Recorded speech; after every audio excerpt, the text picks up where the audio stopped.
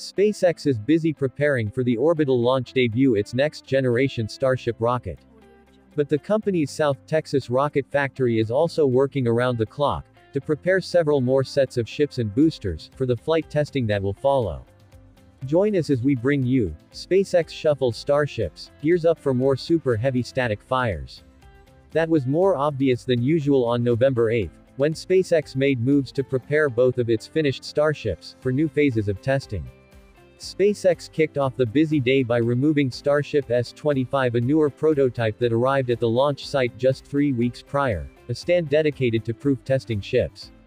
Three hours later, after spending three of the last four weeks sitting on top of Super Heavy Booster 7, Starship S-24 was destacked, lifted off a B-7 and lowered onto a stand on the ground, in the early afternoon. Booster 7, Ship 24, and Ship 25 have all been busy since mid-October. SpaceX stacked Booster 7 and Ship 24 for the first time on October 11, and then attempted to test the fully stacked rocket on October 13. By some accounts, although almost nothing was visible to the public, the first full stack test may have gone poorly, potentially even endangering pad technicians that approached the rocket to troubleshoot.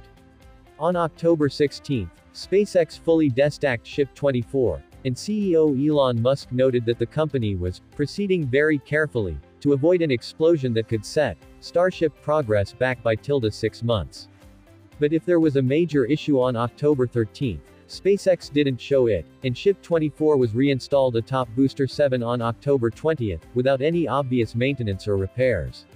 SpaceX then kicked off an unusual series of tests on October 24, during which it only filled the liquid oxygen or liquid methane tanks of Super Heavy B-7, Ship 24, or both vehicles at once. A rare NASA briefing on October 31 later called them, single-species propellant tests, a kind of extra cautious testing that had never been seen before at Starbase. A few days prior, a member of NASA's Aerospace Safety Advisory Panel, noted that an accidental explosion that damaged Booster 7 in July, had caused SpaceX to increase the rigor of its systems engineering and risk management, explaining the sudden influx of unusually conservative testing. By the time Ship 24 was destacked from Booster 7 on November 8, SpaceX had completed seven single-species tests, four of which involved loading liquid oxygen or liquid methane, into both stages and three of which only tested super heavy. Booster 7 and Ship 24's tanks were fully filled and LCH-4 and LOX, were never simultaneously loaded on either stage.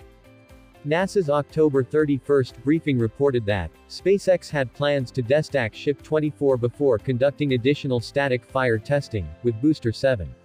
While B-7 completed 1, 3, and 7 engine static fires in August and September, those tests were nowhere close to the full 33-engine static fire, required to properly qualify the most powerful rocket in history. According to NASASpaceflight.com managing editor Chris Bergin, SpaceX's next goal is to fire up approximately half of Super Heavy B-7's Raptors. Strangely, although Ship 24 was believed to have completed all of the standalone testing, needed to clear it for flight. SpaceX installed the vehicle on a stand used for Starship static fire testing on November 9, implying that more standalone testing may be required. For now, that shouldn't pose a problem as long as SpaceX wraps up any additional Starship testing, around the same time as Booster 7's next static fire campaign wraps up, but it could delay full stack launch readiness if it takes any longer. Musk has indicated that, those upgrades might involve fortifying Super Heavy Booster 7's thrust section, to ensure it can survive Raptor engine failures. With 33 Raptor V2 engines powering it and plenty of evidence, that those Raptors are far from perfect reliability, the concern is understandable, even if the response is a bit different than SpaceX's norm. Prior to the start of preparations for Starship's orbital launch debut, SpaceX sped through Starship development, like it wanted to destroy as many rockets as possible, which, to some extent, it did.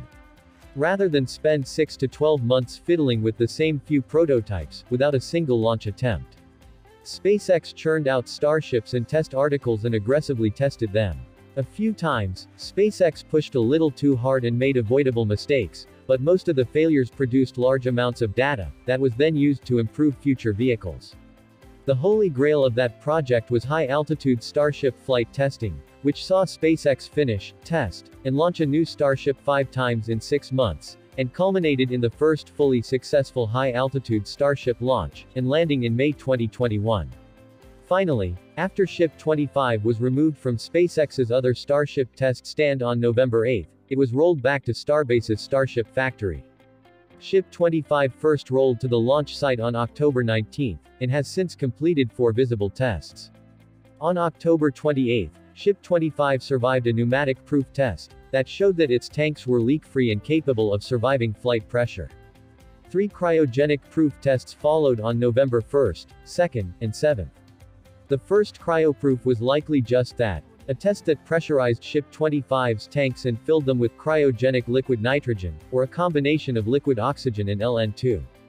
The next two tests likely took advantage of the customized test stand, which has been semi-permanently outfitted with a set of hydraulic rams, that allow SpaceX to simulate the thrust of 6 Raptor engine.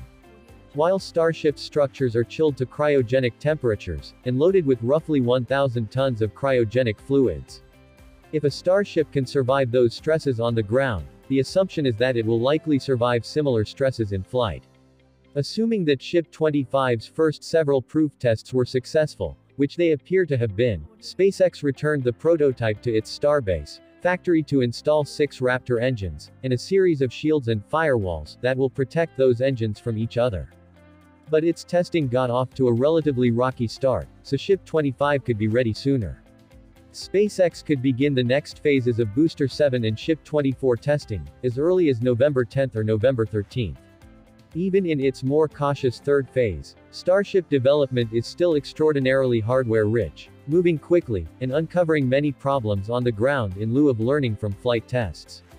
But that doesn't change the fact that the third phase of Starship development 2021 today is proceeding more carefully than the first. Nonetheless, SpaceX appears to finally be getting closer to Starship's first orbital launch. According to Musk, the company could be ready for the first launch attempt as early as late October, but a November attempt is highly likely.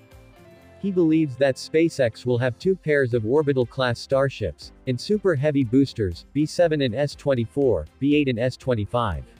Ready for orbital flight by then, potentially enabling a rapid return to flight after the first attempt. Musk is also excited about Super Heavy Booster 9, which has many design changes, and a thrust section that will fully isolate all 33 Raptors from each other, crucial for preventing the failure of one engine from damaging others. Thanks for watching this video and it's a super interesting topic. If you like this to make sure you can subscribe. If you have any crazy idea what we should cover in next video, please comment it below, and we will see if we can get the, and thanks again for watching and goodbye.